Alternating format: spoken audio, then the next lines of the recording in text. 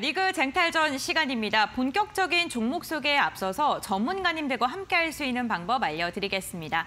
먼저 이영재 전문가님과 함께하고 싶으신 분들 샵 3772번 건당 100원의 문자로 고수 두 글자 보내주시면 저희가 문자 메시지 답장으로 노란톡에 입장할 수 있는 링크를 알려드리겠습니다. 지금 화면에 나가고 있는 QR코드 스캔하셔도 바로 입장 가능하시다는 점 기억해 주시면 좋을 것 같고요.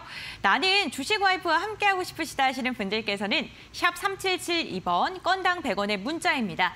문자 메시지로 주와 두 글자 보내주시면 노란톡 입장 방법 역시나 알려드리겠습니다. QR코드 지금 스캔하십시오. 그럼 노란톡으로 입장할 수 있으니까요. 편하신 방법 으로 선택하셔서 전문가님들과 함께 다양한 이야기 나눠보시길 바랍니다. 그렇다면 본격적으로 수익률 게임 진행을 해보겠습니다. 오늘도 세 가지의 출전 후보 종목을 각각 말씀을 해드릴 예정이고요. 그 가운데 출전 종목 한 종목씩 선정을 할 예정입니다.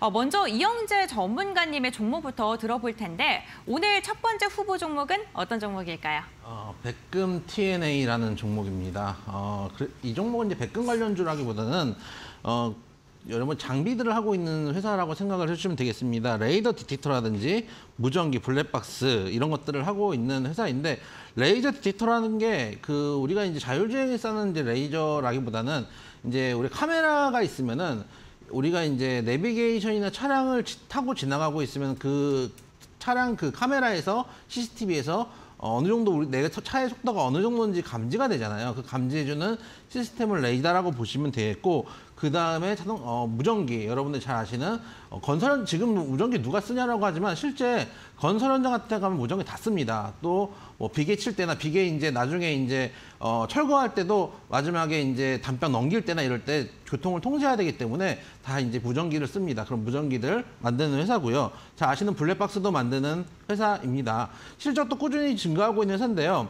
어, 화면 한번 보시면은 이 회사가 2020년에 영업이익 61억이었습니다. 2021년에 100억까지 나왔고 작년에 지금 여기 HTS는 안 나와 있는데 154억으로 영업이익이 전년 동기 대비해서 54.7% 정도 상승을 했던 어, 회사입니다. 거의 뭐 매년 50%씩 상, 어, 실적이 상승하는 회사인데 거기에 비해서 주가는 지금 몇 년 동안 헤매고 있는 상황이거든요. 한번 2007년에 급등이 나온 다음에 어, 조금 더 차트를 길게 내려볼까요? 이때 급등이 한번 나온 다음에 바닥을 잡아, 잡고 나서 한번 시세가 좋을 때, 장이 좋을 때 한번 올라왔다가 그 다음에 힘을 못 쓰고 내려오고 지금 겨우 장기 평대를 돌파하고 올라오고 있는 종목입니다. 실적이 잘 나오는데 반면에 어, 어떻게 보면은 수급이 좀 받쳐주지 않아서 못 올라오고 있던 종목이었는데 이제 장기 이평선을 돌파해서 어, 481선을 돌파해서 지금 자리를 잡고 있는 만큼 여기서부터는 오히려 매물대를 돌파했기 때문에 속도가 나올 수 있는 측면이 있다라는 측면에서 백금 TNA라는 종목 말씀드려보도록 하겠습니다. 네, 이영재 전문가님께서는 첫 번째 종목으로 백금 TNA 언급해 주셨고요. 이에 대응하는 주식와이프님의 종목 대한항공 들어보겠습니다. 네, 일단은 우리 시청자분들이 또 주쌤이 가지고 오는 우량주 기다리시는 분들도 많으신 것 같아서 앞으로 출전 종목을 우량주와 중소형주 골고루 가져올까 해서 오늘은 이제 reopening 관련 섹터 제가 브리핑을 도와드렸기 때문에 reopening 섹터 항공 대장주인 대한항공을 가지고 와봤습니다. 어, 사실 이제 대한항공 같은 경우에는 코로나 팬데믹까지만 하더라도 굉장히 좀 업황이 안 좋기 때문에 적자도 보고 그랬었는데요. 위기를 기회로 바꾼 기업 중중 하나가 아닌가 싶습니다. 화물 사업 부분을 잘 어, 키워서 결국에는 흑자 전환까지 이제 성공을 했는데요. 어, 이제는 이제 본업으로 돌아가야 되겠죠. 이제 사실 원래 항공 매출에서 여객 사업 부분이 매출액의 얼마 정도를 차지하냐면 70% 정도를 차지한다고 보시면 되겠습니다. 그래서 올 초 같은 경우에는 일본 여행 가는 여행객들도 굉장히 늘었었는데 어, 중국에서 지금 단기 비자 발급 제한도 해제가 된 상황이죠. 이제 중국의 단체 패키지 여행들도 풀리게 되면은 중국 여행 수요까지도 어, 늘게 되면은 관련 여행 수요 늘 가능성이 높다라고 보고 있습니다. 그런 관점에서 가장 이제 대장주인 대한항공 좀 중점적으로 봤으면 좋겠다 말씀드리고 싶고 이전에 주쌤이 대한항공의 또 자회사 진에어 같은 경우에는 중장기적으로 올해 좀 어, 굉장히 강하게 올라갈 수 있으니까 잘 보라고 말씀드리기도 했었죠. 그래서 대한항공 같이 흐름 보도록 할 텐데요. 대한항공 같은 경우에는 음, 현재 구간이 지난해 reopening 이슈 들어왔을 때까지만 하더라도 주가 상승세 굉장히 높게 나왔었던 어, 종목이었습니다. 2021년도였죠. 2021년도까지만 해도 굉장히 높게 나왔었는데 이때 당시 그 그런 이제 여행 travel bubble 제한 이제 수- 풀린다는 소식 들리면서 상승세가 나왔다가 코로나 확진자 수 늘게 되면서 주가가 이후로 예, 좀 조정을 받게 되는 그런 모습이 나왔습니다. 그래서 한 1년 반 정도 다시 이제 조정받고 이제는 정말 본격적인 reopening 해제, 이제는 진정한 with 코르 어, with 코로나로 가고 있는 시점이기 때문에 이제야말로 지금 하락 추세선을 돌파하는 움직임 좀 기대를 해봐도 되지 않을까라고 생각하고 있기 때문에 대한항공 긍정적으로 보면서 첫 번째 관심 종목으로 선정해 보도록 하겠습니다. 네, 알겠습니다. 대한항공을 언급해 주셨고요. 이어서 두 번째 종목도 한번 들어볼 텐데요. 이영재 전문가님의 두 번째 종목 어떤 종목이실까요?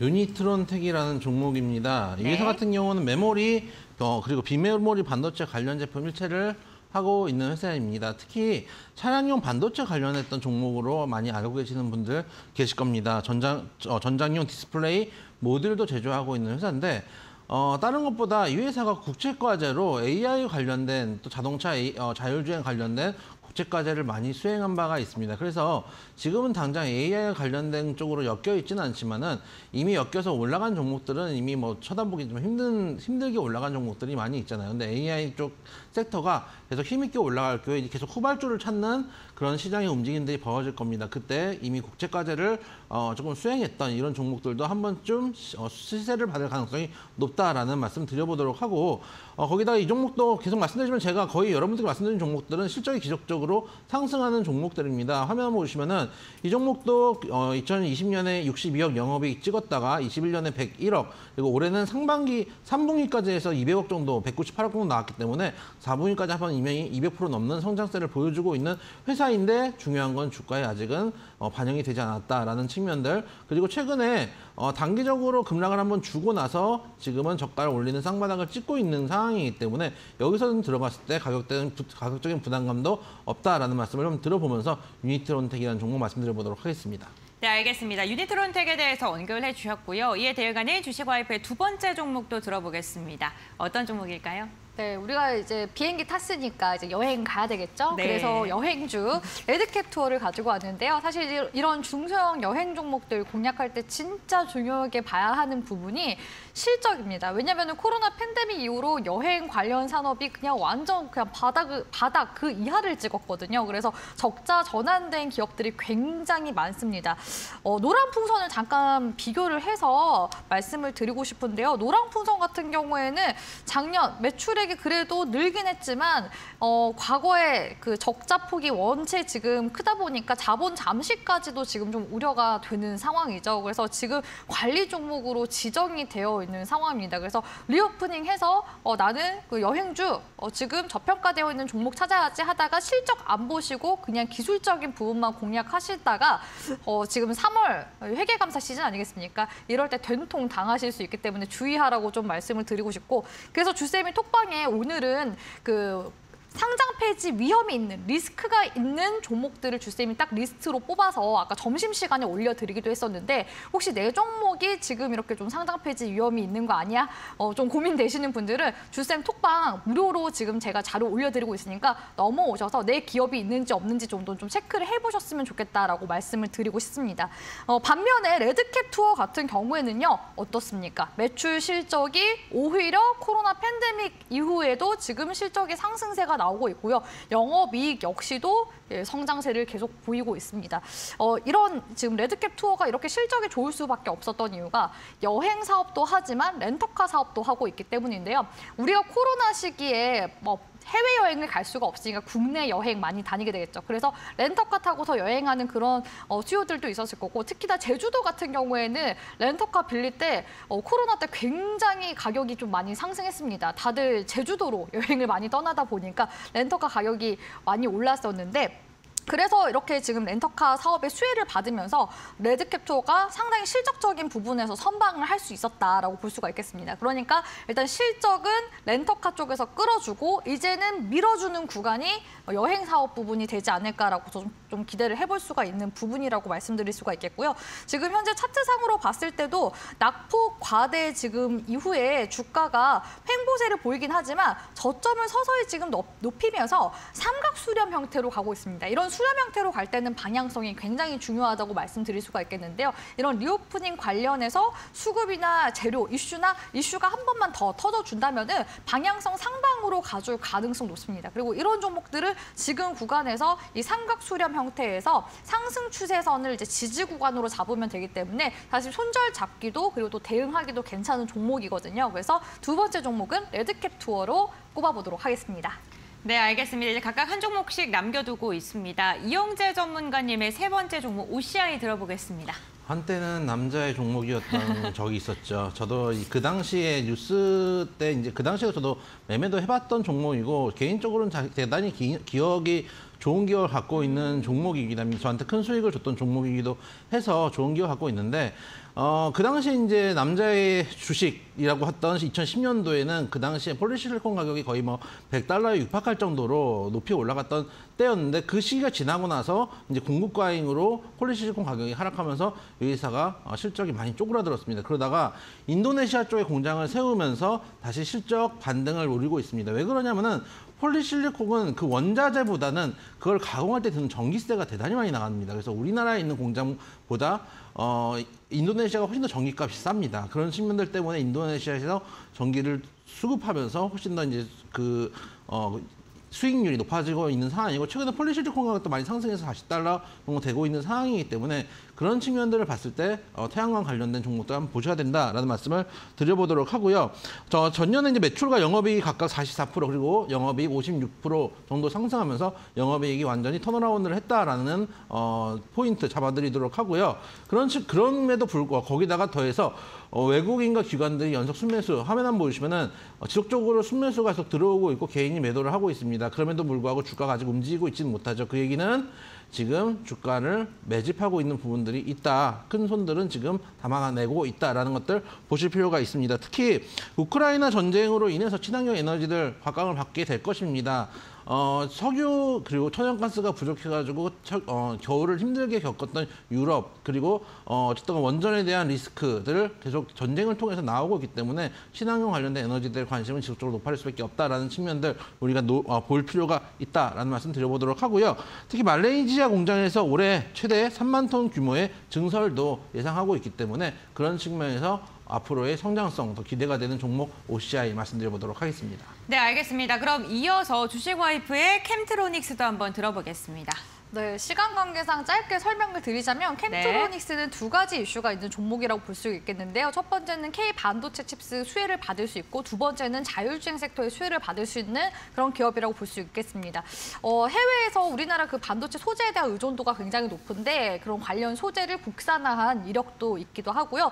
또 어, 정부에서 2024년도에는 자율주행을 이제 4단계 정도까지를 이제 목표로 하고 있는데 2027년도에는 정부에서 완전 자율주행을 또 목표로 하고 있거든요. 상용화를. 근데 캠트로닉스 쪽에서는 사실 하드웨어뿐만 아니라 어, 카메라 센서, ADAS 기술까지 보유한 자율주행 토탈 솔루션 업체이기 때문에 이런 자율주행 산업 관련해서도 수혜를 볼 수 있는 그런 기업이라고 볼 수 있고 재무적으로 봤을 때도 계속 실적 상승세가 나오고 있는 그런 기업이라고 볼 수가 있겠습니다. 당연히 업황 안 좋았음에도 불구하고 원자재 가격 높아, 높아서 어, 사실 업황 실적 안 좋은 기업들 많은데 영업이익이랑 당기순이익을 좀 줄긴 했지만 여전히 매출 어, 매출은 굉장히 잘 내고 있는 기업이더라라고 보실 수가 있을 것 같습니다. 그래서 재무적인 부분은 지금 3월 상장 폐지 시즌이기 때문에 계속 말씀을 네. 드리고요.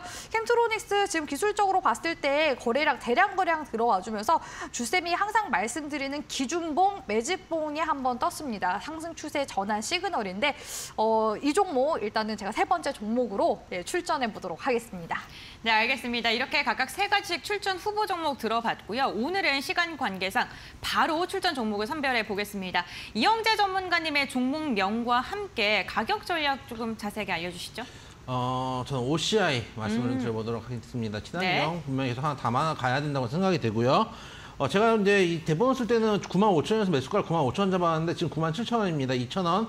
어, 조금 더 쓰셔도 됩니다. 아, 그래서 9만 7천 원에서 9만 5천 원 정도 네. 잡으셔도 큰 무리는 없다라고 말씀을 좀 드리고 싶고 목표가 12만 원, 손절가 8만 원 정도 잡고 대응하시면 충분히 먹을 자리가 나온다라는 말씀 드려보도록 하겠습니다. 네, 알겠습니다. 목표가 12만 원, 손절가 8만 원으로 제시해 주셨고요. 이어서 주식 와이프님 어떤 종목 선정하셨을까요? 네, 켐트로닉스 선정해봤고요. 단기 손절가랑 그리고 스윙 목표 구간 잡아드리도록 하겠습니다. 차트 보면서 말씀드리도록 할 텐데요. 현재 지금 21선 흐름 잘 타고 있기 때문에 21선 이탈하지 않으면 주쌤이 말씀드린 기준봉 구간에서 시가 구간 예, 이탈 여부로 손절가 잡아드리면서 16,500원 손절가로 잡아가시길 바라겠고요. 지금 스윙 관점에서는 상방으로 어, 2만 1,000원 구간대 일단은 1차로 올라갈 수 있는 부분이거든요. 저는 어, 스윙 관점에서 2만 3천 원까지 보는데 일단 1차적으로 올라오는 구간 보면서 추가 상향 이후 도와드리도록 하겠습니다. 그래서 목표 주가는 2만 1천 원 이렇게 1차 잡아가시길 바라겠습니다.